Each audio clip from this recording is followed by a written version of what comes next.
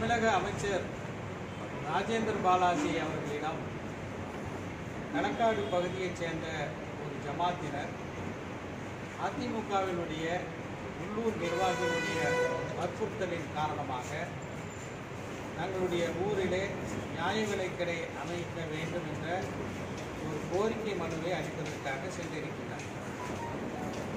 தேர்தலிலே யாருக்கு ஓட்டு போடுவது என்பது மக்களுடைய உரிமை.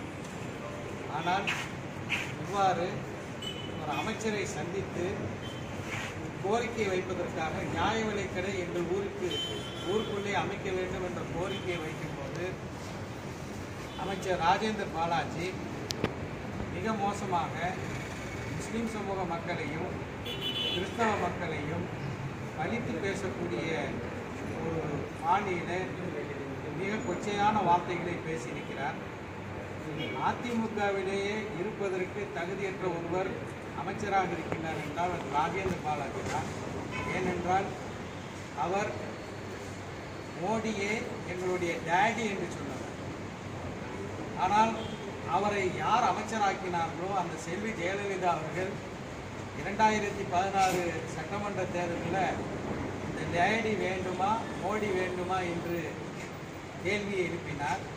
ஆனால் இன்றைக்கு மோடியே டேடி என்று சொல்லி அவர்களால் அம்மா என்று சொல்லப்படக்கூடிய செல்வி ஜெயலலிதாவையே படிக்கக்கூடிய வகையிலே ராஜேந்திர பாலாஜியினுடைய பேச்சுகள் அமைந்திருக்கிறது.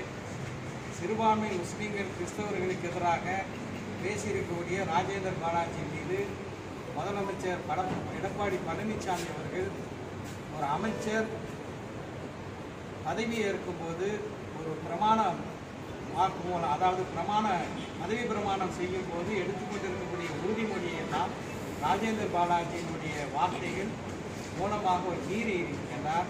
அவரை உடனடியாக அமைச்சரவையிலிருந்து நீக்க வேண்டும் என்று மனிதநேய மக்கள் கட்சியின் சார்பாக கேட்டுக்கொண்டார்